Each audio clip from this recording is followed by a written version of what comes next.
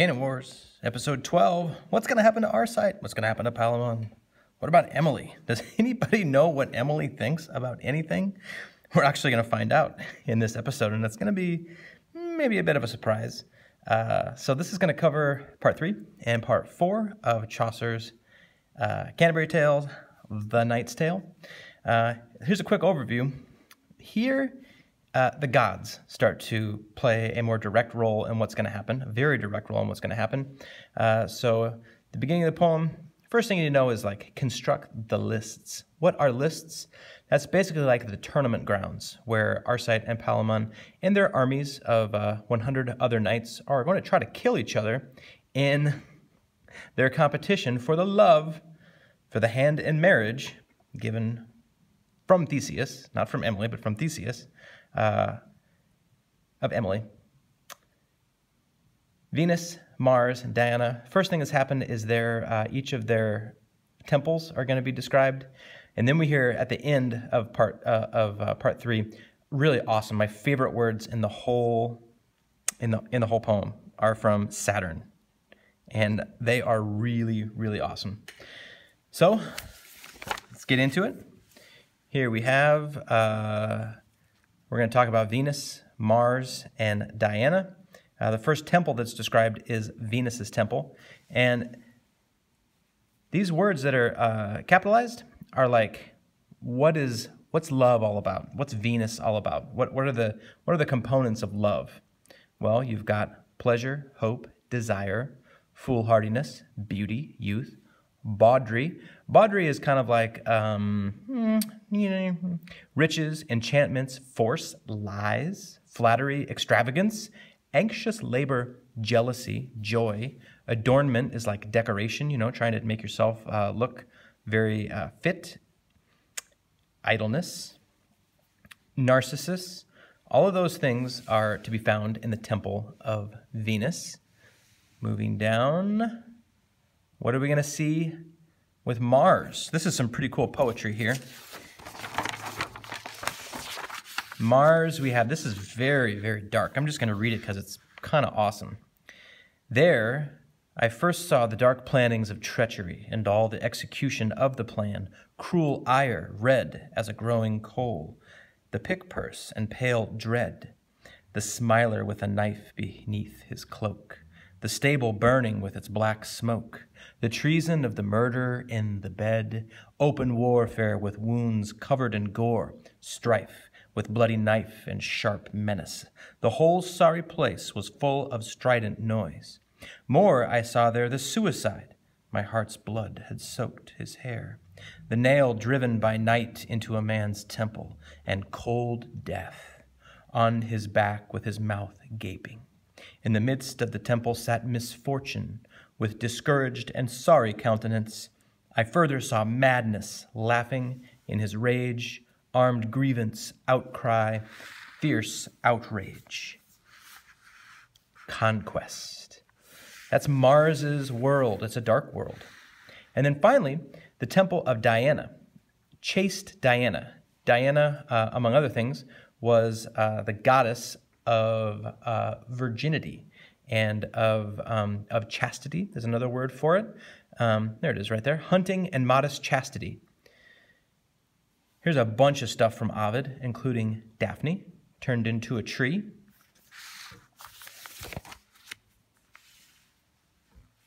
And that's it for the description of the temples. Now he describes what the construction is like for the lists or the tournament grounds where uh, they're going to have a joust, jousting tournament, and also hand to hand combat.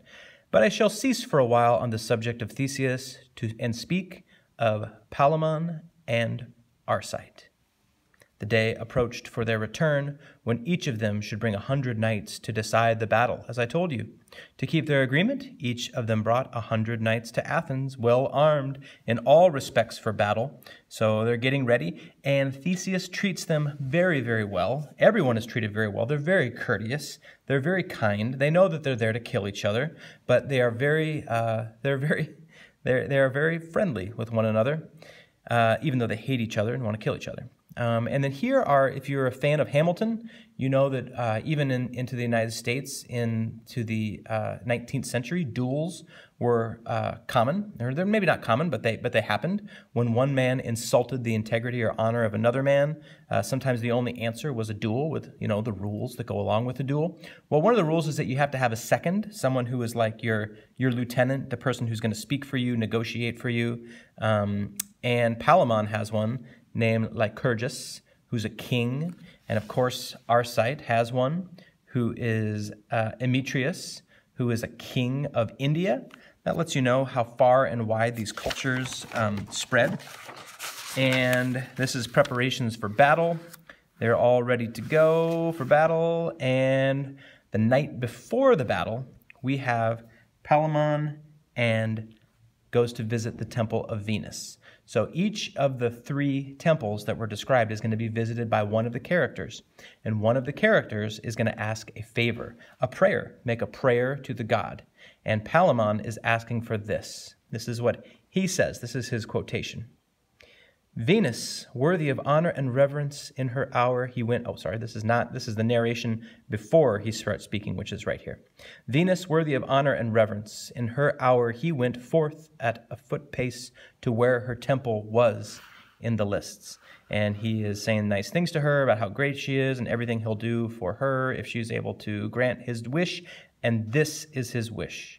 But I would have full possession of Emily and die in your service. I implore you, find how and by what means to do this. He's saying he doesn't care if he dies, he doesn't care if he doesn't have victory. The only thing that matters to him is that before he dies, he gets to be with, he gets to, he gets to love uh, Emily, and that is the most important thing, more important than his life. Um, and his prayer was actually answered because at last the statue of Venus shook and made a sign by which he gathered that his prayer that day was accepted. So, this is important because now we're leaving the world where these gods and goddesses are metaphors, and in this particular poem, they are actual beings that can do things in the earth like make a symbol or make a sign.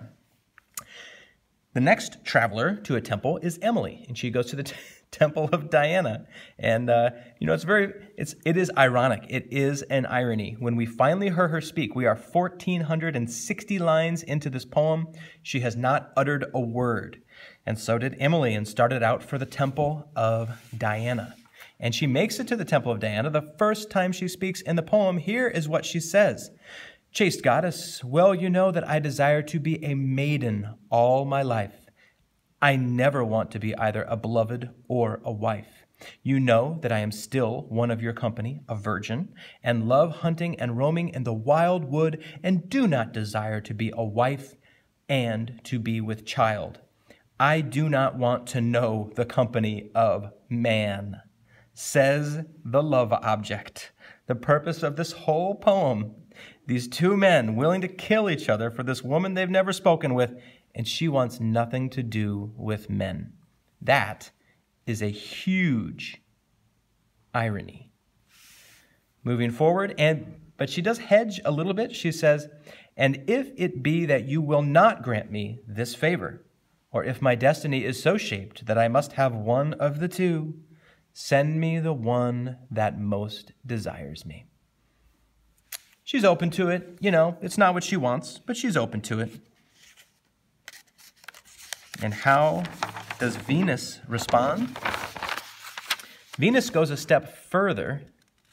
She actually speaks, or excuse me, Diana. Diana goes a step further. She actually speaks. She appears. She becomes flesh. She shows up and she says, Daughter, stop your sorrow. Among the high gods it is declared, and by eternal word written and confirmed, that you shall be wedded to one of them who have had so much care and trouble for you. And so that is the position that Emily finds herself in. So now she knows she's going to have to get with one of these guys eventually. She'll just have to wait and see which one kills the other one. Uh, the hour of Mars next follow this, and so Arcite is going to go to Mars to make his supplication, to make his prayer for Mars's favor. Um, so when he appears before Mars, here's what he has to say Then, Lord, help me tomorrow in my battle for the sake of that fire that once burned you as much as that fire now burns me. Arrange it that I shall have victory tomorrow. So he doesn't ask for Emily's love. What he asks for from Mars, by way to gain Emily's love, is victory in battle. Well, that's something that Mars knows a lot about. So we'll see what happens here. At last, the statue of Mars, so now Mars, the statue, is going to make a symbol, began to make its coat of mail jingle. With the sound, he heard a murmuring, very low and indistinct, which said, Victory. So it seems like each god is either going to grant the wish, grant the prayer, or at least be honest about not granting the prayer. And then here's the best part. This is the best, best part. This, these words right here, they make, they give me the heebie-jeebies because this is Saturn talking. This is Venus's father, or maybe grandfather, uh, the god Saturn, who in Greek mythology was known as Kronos or time. So this is time personified, the physical manifestation of time in the poem. And listen to what time says. I just have to read it because it is so good. My dear daughter Venus, said Saturn. Venus was afraid. She was like, oh no, I know Mars is going to try to get his way, and I want my way, and what, what's going to happen? Uh, Diana wants something different. My dear daughter Venus, said Saturn. Remember, it was Palamon who talked to Venus. My dear daughter Venus, said Saturn, my planetary course, which has to make so wide an orbit, has more astrological power than any man knows. Mine is the drowning in the pale sea. Mine is the prison in the dark hut. Mine is the strangling and hanging by the throat. Mine is the uproar and the revolt of the underlings, the discontent and the poisoning. I take vengeance and do not full and do full chastisement while I dwell in the zodiacal sign of the lion. Mine is the collapse of the lofty halls, the falling of the towers and of the walls. Upon the miner and the carpenter I slew Samson, shaking the pillar. I read that line wrong, by the way. Mine is the collapse of the lofty halls, the falling of the towers and of the walls upon the miner and the carpenter. Pestilence. I am pestilence. Oh, so cool. Um, so he basically says, I got this. Don't worry about it. You're going to get what you want, Venus. I promise. So it's actually the day of the festival. It's like a big. Everybody's ready to go. They're all having a great time. There's feasting, there's celebration. It's the morning of the battle, and what's going to happen? Oh, Theseus is going to make a little announcement. He's like, you know what? This is such a great thing. Everybody's so happy. We're all here. It's just a great, joyous occasion. I'm going to change the rules. I don't want anybody to die. Nobody has to die. We're going to change it up so it's like you can fight, but don't stab someone. You don't have to kill someone. We're going to do this thing where it's like capture the leader. So you 100 knights protect uh, Palamon, 100 knights to protect Arcite. We'll see if either side can capture somebody. You can ride on your horse and, you know, joust each other, but like nobody dies is what he's going for. And if it happens that the chieftain is captured on either side, or else if he kills his opposite, so he, somebody might get killed, then the tourney shall last no longer. God speed you. Go out and hit hard. Kind of like so you can hear a football coach saying that, right? Go out and hit hard right before the game. Moving along, and here is the battle. So it wasn't like an easy battle. Up spring spears 20 feet in the air, out come the swords glittering like silver. They hew and cut to pieces the helmets. Out bursts the blood in violent streams. The knights break bones with strong maces. That one thrusts through the thickest of the press. There strong steeds stumble and down go horse and man. So it's a it's a heavy duty battle, but no one is killed. Palamon desires to kill his foe, but they can't really get to each other. Sometimes they do get to each other and they're stabbing each other and people are bleeding and they're almost dying, but someone gets captured. Palamon gets captured. Palamon hit him so hard before being captured But all this was for nothing. He was brought to the stake. His brave heart could not help him. He had to stay there when he was captured by force and also by the rules. Palamon was captured alive. And it's decided, this, the king goes, Stop, no more. Arcite of Thebes shall have Emily. All is resolved. Except for one thing. Remember uh, Saturn? Time? Time? A fury from the infernal region started up the ground sent by Apollo at the request of Saturn, which made his horse Arcite, who just won everything. His horse, by chance, by accident, stumbled Arcite. The horse pitched him on the pommel of the saddle and over his head so hard that he lay in the field as if dead, his breast crushed in with his saddle bow. Yeah, but maybe Arcite's going to live. So they're still having a huge party. Everybody's happy. The king is just ecstatic. He's like, I think he says this or maybe, I don't know if the, this is the narrator. Remember, the knight is the narrator, the actual knight who's walking down the road with uh, Chaucer is telling this whole story. For in fact, there was no defeat. Failing is a result of nothing but luck. So Arcite was unlucky. Palamon fought so hard that there's no, there's nothing wrong with that. But nature now had no dominion, and certainly where nature will not work, farewell medicine, go bear the man to church. In a word, Arcite had to die, for which reason he sent for Emily and for Palamon, who was his dear cousin. Then he spoke thus, as you saw here, and he said very beautiful words about how much he loved them both.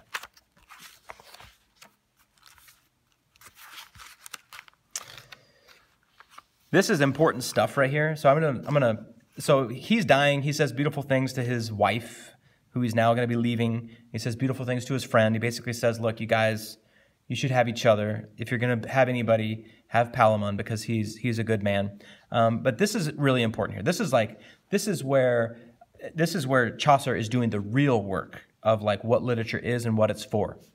What is this world? What does man ask to have? One instant with his love, the next in his cold grave, alone and without company. Farewell, my sweet foe, my Emily, and softly take me in your two arms for the love of God and listen to what I say. With my cousin Palamon here. But this is the essential question. This right here is kind of what all of literature is all about. Is this this is the human condition. This is the same thing that Shakespeare wrestles with constantly. What is this world? That is the question of literature, of art, of culture. What is this world? What does man ask to have? And then he goes a step further. His spirit changed its house and went where I have never gone. This is the knight narrating the story. I cannot say where. Therefore I cease. I am no theologian. A theologian is a you know someone who studies theology and knows religion. I find nothing about souls in my book, and I do not wish to relate the opinions of theologians, even if they write where souls dwell. So, right, are, there's a lot of different religious perspectives. There's a lot of different views on souls and what happens after death. And this is kind of what literature does. Literature's approach to the mystery of death is basically like, uh, we don't know, maybe, maybe. His spirit changed its house and went where I have never gone, what Shakespeare calls the undiscovered country, and what dreams may come in that undiscovered country. Beautiful.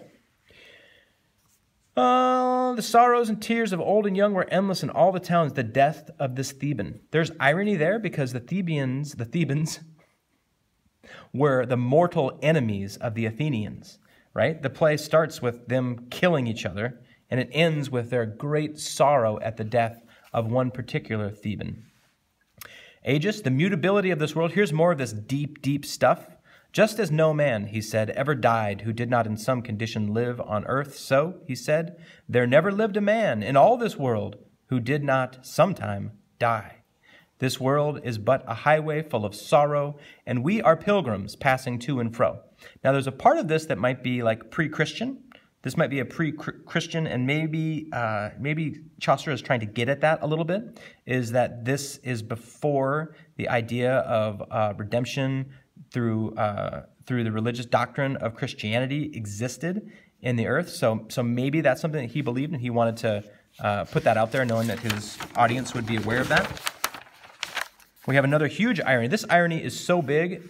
Okay, so throughout the poem, I've at different times indicated where uh, Chaucer, through the narrative uh, voice of the knight, is doing this, like using this irony where he's saying, um, uh, this is too long to tell. I know that this is this is a long story. I'm going to skip that part. I'm going to skip that part. Well, now his irony is completely out of control. So if earlier you were saying, "Is that irony? Is he doing that to be funny? Is that part of the is that part of the meaning of this?" Uh, yes. In fact, he might have very di- di- directly been making fun of Boccaccio because as long as this is, Boccaccio told the same story way longer. So all of this is he's saying what he's not going to say. I'm not going to say this. I'm not going to say this. I'm not going to say this. I'm not going to say any of this stuff. None of this stuff, I'm not going to say it. I'm not going to examine it. I'm not going to describe it all the way to here. I don't wish to tell, uh, but he just told us all of that. So that's the irony. That is, and that's a very funny irony. Uh, we may well discern then by this orderliness that the mover is immovable and eternal. I don't know if this is Theseus talking or his father Aegeus. No, it's Theseus. Um, so this is a very important idea. In so now these ideas might be a little bit more uh, more Christian, um, and uh, interestingly so. We may well discern then by this orderliness that the mover is immovable and eternal. The mover is God. Anyone but a fool may easily see that every part derives from the whole to which it belongs, for nature did not take its beginning from a mere part or portion of a thing. So, this is a very, very big concept that gets into uh, a Christian idea of providence, which is kind of like everything is exactly as the way that God intended it, even if though we don't quite agree or we don't quite see it. Just because we don't see it doesn't mean that it's not part of a plan that is much, much bigger than us. That is a theological idea that's put into the mouth of, uh, of a pagan, and uh, that's Theseus. And I want to get to the end of this thing. Oh, we're almost to the end. Great.